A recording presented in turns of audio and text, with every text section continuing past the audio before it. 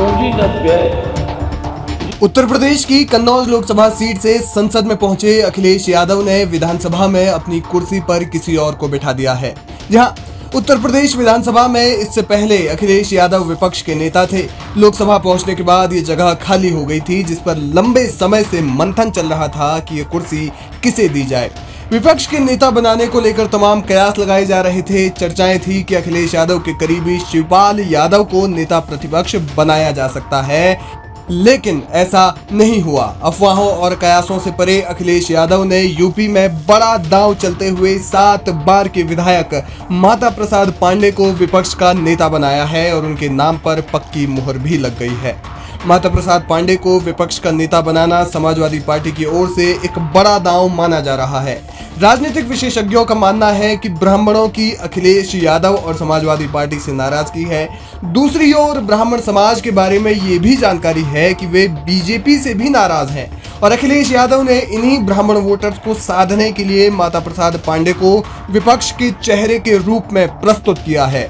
माता प्रसाद पांडे अनुभवी हैं, सात बार के विधायक हैं, इसके अलावा वे पूर्व में उत्तर प्रदेश विधानसभा के स्पीकर भी रह चुके हैं। उन्हें मुलायम सिंह यादव का बेहद करीबी भी माना जाता है। विपक्ष के मुख्य नेता के रूप में एक ब्राह्मण नेता को नियुक्त करना इसलिए भी बड़ी बात है, क्योंकि अखिलेश यादव पिछड़ा दलित और अल्पसंख्यक, यानी कि पीडीए की राजनीति करते रहे हैं और इस बार इससे इतर उन्होंने सवर्ण जातियों को साधने का प्लान बनाया है। इसके अलावा अखिलेश यादव ने और भी कई पदों पर नियुक्ति या फिर बदलाव किए हैं। सपा विधायक महबूब अली को उन्होंने विधानसभा में सपा के अधिष्ठाता मंडल का सदस्य बनाया है। वहीं कमाल अख्तर को विधानसभा का मुख्य सचेतक, यानी कि चीफ विप, नियुक्त किया है। वहीं डॉक्टर आर के वर्मा को उप सचेतक बनाया गया है। विप किसी भी स्थान या संगठन में अनुशासन के लिए उत्तरदायी होता है।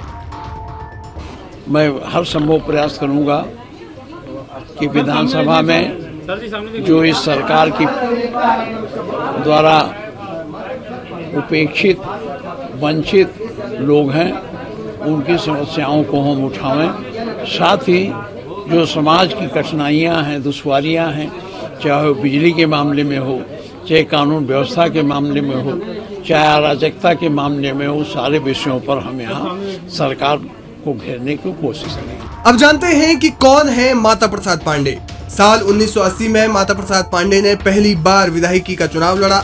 वे पहली ही बार में चुनाव जीत गए थे। अगले ही चुनाव, यानी कि उन्नीस में एक बार फिर उन्होंने लोक दल से जीत हासिल की।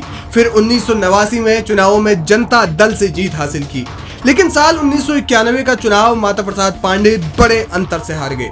उन्नीस सौ छियानबे के चुनाव में भी उन्हें हार का मुँह देखना पड़ा और दोनों बार वे चुनाव में तीसरे नंबर पर रहे। ज़ाहिर है कि हार का अंतर भी बड़ा था। साल 2002 में उन्होंने पार्टी बदली और पहली बार समाजवादी पार्टी के टिकट पर चुनाव लड़े। दो चुनावों में मिली करारी हार के बाद उन्होंने 2002 में वापसी की और विधानसभा पहुँचे। फिर 2007 और 2012 में लगातार दो चुनाव जीते, लेकिन 2017 में मोदी लहर के चलते वे चुनाव हार गए। हालाँकि 2022 के चुनाव में अखिलेश का उन पर भरोसा कम नहीं हुआ और उन्हें फिर से चुनावी मैदान में उतारा। उन्होंने जीत दर्ज की वे वर्तमान में सिद्धार्थनगर विधानसभा से विधायक है। अब अखिलेश यादव ने उन्हें नेता प्रतिपक्ष की बड़ी ज़िम्मेदारी दी है। देखना ये होगा कि माता प्रसाद पांडे अखिलेश यादव के भरोसे पर किस तरह खरे उतरते हैं।